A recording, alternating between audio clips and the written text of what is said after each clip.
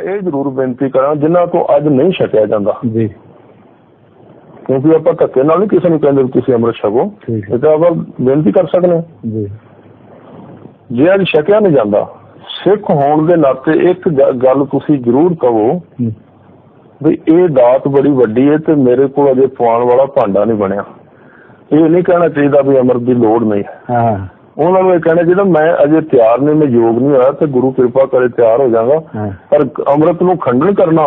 ਇਹ ਸਿੱਖ ਲਈ ਐਡਾ ਵੱਡਾ ਗੁਨਾਹ ਹੈ ਸ਼ਾਇਦ ਮੈਂ ਸਮਝਦਾ ਹਾਂ ਕਦੀ ਬਖਸ਼ਿਆ ਜਾਏਗਾ ਨਹੀਂ ਸਤਿਗੁਰੂ ਜੀ ਤੋਂ ਦਾਤ ਮੰਗੇ ਕਰਨੀ ਚਾਹੀਦੀ ਹਾਂ, ਮਹਾਰਾਜ ਮੇਰੇ ਅਰਦਾਸ ਕਰਨੀ ਚਾਹੀਦੀ। ਮੰਗ ਕਰਨੀ ਚਾਹੀਦੀ ਹੈ। ਬਲਕਿ ਇਹਨੂੰ ਖੰਡਨ ਨਹੀਂ ਕਰ ਸਕਦੇ ਸੋ ਬੜਾ ਸੋਹਣਾ ਤੁਸੀਂ ਕਿਹਾ ਵੀ ਜਿਨੇ ਅੰਮ੍ਰਿਤ ਛਕਿਆ ਹਰ ਸਿੱਖ ਨੂੰ ਘੱਟੋ ਘੱਟ ਪੰਜਾਂ ਸਿੱਖਾਂ ਨੂੰ ਅੰਮ੍ਰਿਤ ਛਕਾਉਣਾ ਚਾਹੀਦਾ। ਹਾਂਜੀ ਤੇ ਇਹ ਬੜਾ ਵੱਡਾ ਤੁਸੀਂ ਕਿਹਾ ਕਿ ਗਿਆਨੀ ਜੀ ਇੱਕ ਹੋਰ ਨਾਲ ਲੱਗਦੀ ਗੱਲ ਹੈ ਜਿਵੇਂ ਬਹੁਤ ਅੰਮ੍ਰਿਤਧਾਰੀ ਵੀਰ ਭੈਣਾਂ ਨੇ ਜਿਹੜੇ ਨਾ ਨਿਤਨੇਮ ਤੋਂ ਕਿਸੇ ਕਾਰਨ ਕਰਕੇ ਵਿੱਚ ਆਲਸ ਕਰ ਜਾਂਦੇ ਆ ਕਹਿੰਦੇ ਅਸੀਂ ਜੀ ਸੁਖਮਨੀ ਸਾਹਿਬ ਕਰ ਲੈਨੇ ਆ ਅਸੀਂ ਗੁਰਮੰਤਰ ਕਰ ਲੈਨੇ ਮੂਲ ਮੰਤਰ ਕਰ ਲੈਨੇ ਕੀ ਉਹਨਾਂ ਵਾਸਤੇ ਨਿਤਨੇਮ ਉਸ ਤੋਂ ਪਹਿਲਾਂ ਜ਼ਰੂਰੀ ਨਹੀਂ ਨਹੀਂ ਬਿਲਕੁਲ ਉਹ ਤਾਂ ਵੇਖੋ ਅੱਜ ਕੱਲ ਹੁਣ ਇਹ ਤਾਂ ਹੈ ਨਹੀਂ ਵੀ ਕਿਸੇ ਨੂੰ ਪੰਜਾਬੀ ਨਹੀਂ ਆਉਂਦੀ ਜੀ। ਜਾਂ ਵਿਦਿਆ ਨਹੀਂ। ਹਾਂ। ਵਿਦਿਆ ਲੈ ਕੇ ਤੁਸੀਂ ਜਿਹੜਾ ਸਿਧਾਂਤ ਤੇ ਪੰਜ ਬਾਣੀਆਂ ਦਾ ਹਾਂ।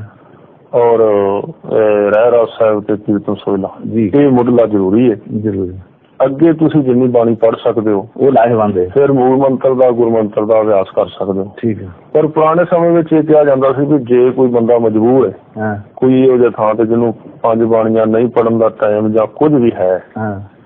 ਉਹਦਾ ਲਾਭ ਹੁਣ ਲੈ ਕੇ ਕੋਈ ਨਾ ਵੀ ਸੌਖਾ ਸਮਝ ਕੇ ਉਹਨੂੰ ਛੱਡ ਹੀ। ਹਾਂ।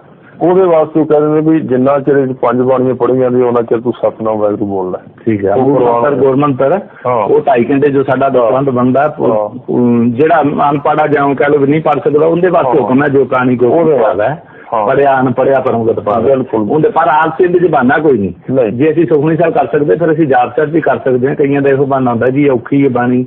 ਤੇ ਮਹਾਰਾਜ ਨੇ ਵੇਖੋ ਐਵੇਂ ਨਹੀਂ ਪਾਈਆਂ ਬਾਣੀਆਂ ਦਾ ਬੜਾ ਵੱਡਾ ਮਕਸਦ ਹੈ। ਜੀ। ਜਿਹੜੇ ਜਾਪ ਸਾਹਿਬ ਦੇ ਵਿੱਚ ਬਾਣੀ ਪਾਈ ਹੈ ਉਹਦੇ ਬਹੁਤ ਸਾਰੇ ਕਾਰਨ ਨੇ ਜਿਹੜੇ ਉਹਨਾਂ ਦੱਸੇ ਨਹੀਂ। ਬਹੁਤ ਸਾਰੀਆਂ ਗੱਲਾਂ ਵਿੱਚ ਸੰਸਾਰਕ ਦੇ ਰਾਖੀ ਵਾਸਤੇ ਬਾਣੀਆਂ ਪਾਈਆਂ ਗਈਆਂ ਨੇ। ਜੀ। ਜਿਹੜੀਆਂ 네ਗੇਟਿਵ એનર્ਜੀਆਂ ਸੰਸਾਰ ਵਿੱਚ ਬ੍ਰਹਿਮੰਡ ਵਿੱਚ ਫਿਰਦੀਆਂ ਨੇ। ਆਪ ਥੋੜਾ ਥੋੜਾ ਇਹਨਾਂ ਬਾਰੇ ਦੱਸ ਦਿਓ। ਉਹਨਾਂ ਤੋਂ ਪਾਣੀਆਂ ਦਾ ਜਪਜੀ ਸਾਹਿਬ ਜਿਵੇਂ ਬ੍ਰਹਮ ਗਿਆਨ ਦੇ ਸਤਮਲ ਥੋੜਾ ਜਿਹਾ ਦੱਸ ਦਿਓ। ਸਿੱਖ ਨੂੰ ਉਹਨਾਂ ਤੋਂ ਰੱਖਿਆ ਵਾਸਤੇ ਔਰ ਬਖਸ਼ਾ ਦੇਣ ਵਾਸਤੇ। ਜਿਹੜਾ ਜਪਜੀ ਸਾਹਿਬ ਦੀ ਬਾਣੀ। ਜੀ। ਜਪਜੀ ਸਾਹਿਬ ਦੀ ਬਾਣੀ ਜਿਹੜੀ ਇਹ ਸੁਰਤ ਨੂੰ ਇਕਾਗਰ ਕਰਕੇ ਸ਼ਬਦ ਨਾਲ ਜੋੜਨ ਵਾਸਤੇ ਬੜੀ ਵੱਡੀ ਮਹੱਤਵਪੂਰਨ ਬਾਣੀ ਠੀਕ ਹੈ ਜੀ। ਇਕਾਗਰਤਾ ਜ਼ਿਆਦਾ ਦਿੰਦੀ ਹੈ। ਵਾਹ ਜੀ। ਫਿਰ ਜਿਹੜੀ ਜਾਪ ਸਾਹਿਬ ਹੈ ਜੀ। ਇਹ ਮਨੁੱਖੀ ਦਿਮਾਗ ਦੀ ਕਸਰਤ ਵਾਸਤੇ ਬਹੁਤ ਵੱਡੀ ਬਾਣੀ ਹੈ। ਜਦੋਂ ਤੁਸੀਂ ਇਹਨੂੰ ਉਹ ਬਿੰਦੀ ਜਿਹੜੀ ਹੈ ਹਾਂ। ਉਹਦਾ ਸਬੰਧ ਬੰਦੇ ਦੇ ਉੱਤੇ ਦਿਮਾਗ ਨਾਲ ਹੈ। ਜਲੇ ਹੈ ਥਲੇ ਜਦੋਂ ਆਪਾਂ ਕਹਿੰਦੇ ਆ ਵੀ ਨਮਸਤੰ ਅਕਾਲੇ ਨਮਸਤੰ ਜਦੋਂ ਨਮਸਤੰ ਕਹਿੰਦੇ ਆ ਮੱਥੇ ਤੇ ਜ਼ੋਰ ਪੈਂਦਾ। ਠੀਕ ਹੈ। ਉਹਦੇ ਨਾਲ ਦਿਮਾਗੀ ਤੌਰ ਤੇ ਇਹ ਬਹੁਤ ਸਾਰੀਆਂ ਬਖਸ਼ਾਂ ਮਿਲਦੀਆਂ। ਪਰ ਉਹ ਵੀ ਹੈ ਬਾਕੀ ਦੂਜੇ ਪਾਸੇ ਮਾਲਕ ਤੋਂ ਅੱਗੇ ਨਮਸਕਾਰ ਵੀ ਬਾਣੀ ਮਾਰੇ ਤੋਂ ਹਰ ਜਗ੍ਹਾ ਹੀ ਹੈ। ਜਿਹੜੇ- ਉਹ ਤੇ ਕੋਈ ਅੰਤ ਹੀ ਨਹੀਂ ਮੈਂ ਤੁਹਾਨੂੰ ਛੋਟੀ ਜਿਹੀ ਉਦਾਹਰਨ ਦੇ ਦਿਆਂ। ਹਾਂ ਠੀਕ ਹੈ। ਹੁਣ ਤੁਸੀਂ ਜਾਪ ਸਾਹਿਬ ਦੀ ਗੱਲ ਛੇੜਦੀ ਜੀ।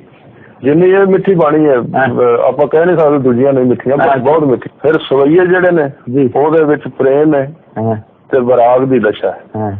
ਸੰਸਾਰ ਦੀ ਨਕਸ਼ਾ ਦਿੱਤਾ ਗਿਆ ਵੀ ਕਿਵੇਂ ਦਾ ਪਖੰਡ ਦਾ ਵਿਰੋਧ ਕੀਤਾ ਗਿਆ। ਜੀ।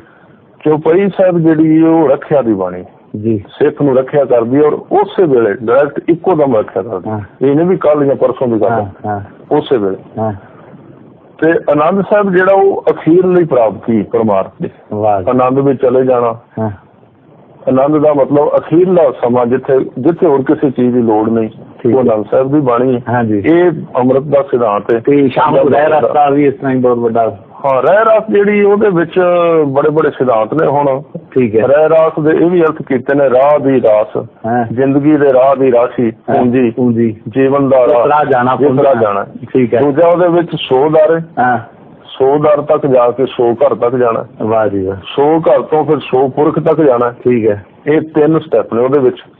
ਤੇ ਇਹਨਾਂ ਵਿੱਚ ਜਿਹੜਾ ਤੁਰਦਾ ਹਾਂ। ਤੇ ਉਹ ਉਹਦੇ ਦਰ ਤੇ ਤੇ ਰਾਤ ਨੂੰ ਬਰਾਜਨ ਲੱਗਿਆ ਸੋਹਲੇ ਦਾ ਪਾਠ ਹੈ?